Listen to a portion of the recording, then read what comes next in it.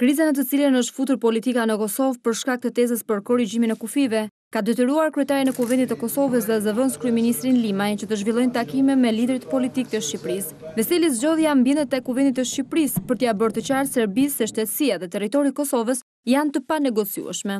Rrugëtimi jonë është Bashkimi Evropian dhe anëtarësimi i plotë në NATO, por shtetësia jonë është e panegocueshme për aq sa është territori. Nuk ka opsion tjetër.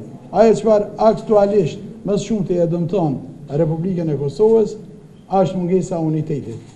Ndërsa kryeparlamentari shqiptar Gramoz Ruçi i bëri thirrje politikës në Kosovë që qëndrimet e tyre të jenë të unifikuara.